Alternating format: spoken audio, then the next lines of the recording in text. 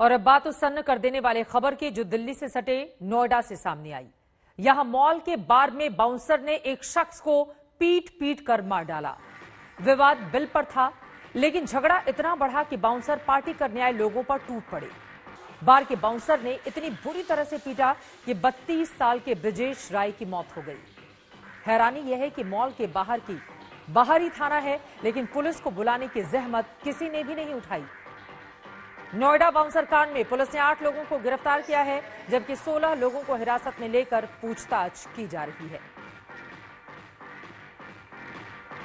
अपने आप में बेहद सन्न कर देने वाला ये मामला, क्योंकि जिस मॉल की यह घटना है, वहाँ पर काफ़ी ज़्यादा भीड़ होती है। बिल को लेकर छोटी सी बात पर झड़प इतनी ज़्यादा बढ़ी कि बाउंसरों ने पीट पीट कर एक व्यक्ति को मार दिया, जिसका नाम ब्रजेश राय बताया जा रहा है। उसकी तस्वीर भी आपको दिखा रहे हैं।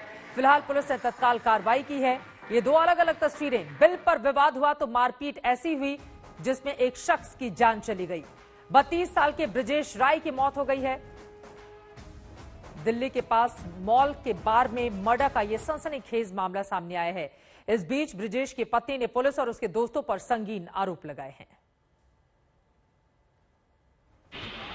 मुझे जानना है कि मेरे पति की गलती क्या थी? क्यों मारा उनको? उन्होंने ऐसा क्या किया था? और बाकी छह लोग वहाँ पे क्या कर रहे थे? पुलिस ने बाहर से आठ लोगों को शायद से कस्टडी में लिया है। मुझे उनके दोस्तों से भी पूछना है कि वो लोग वहाँ क्या कर रहे थे? वो लोग वहाँ दर्शक बन के क्यों बैठे थे? मेरे पति की ऐसी हालत हो गई, वो मर गए वहाँ पे और फिर भी उन्होंने ये भी नहीं ज़रूरी समझा कि मुझे एक बार फ़ोन करके बता सके।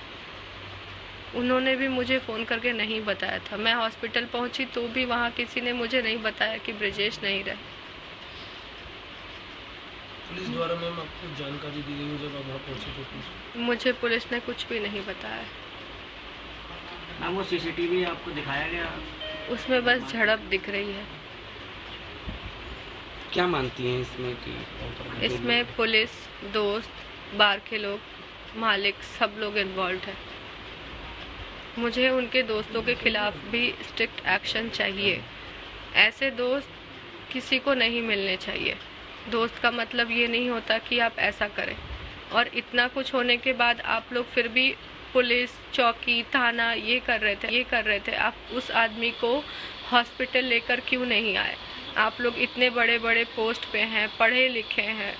फिर भी आप लोगों का दिमाग इतना काम नहीं किया, क्योंकि आप लोगों को अपने पैसे की गर्मी दिखानी थी, अपना तेवर दिखाना था कि हाँ हम भी ये सब चीज़ें कर सकते हैं।